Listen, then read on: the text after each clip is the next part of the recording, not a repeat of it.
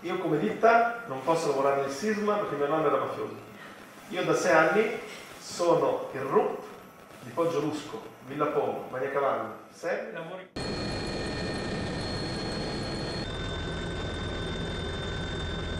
Io sono chi analizza la pratica, chi analizza le ditte e chi fa l'ordinanza di concessione.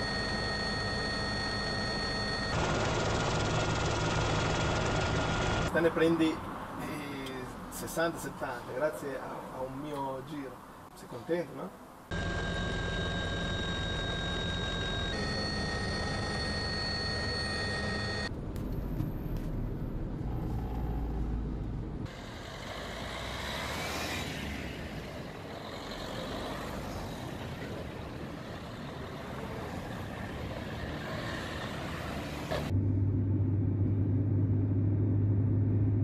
L'operazione di oggi è stata condotta in diversi comuni della Lombardia, dell'Emilia Romagna, del Veneto e della Calabria.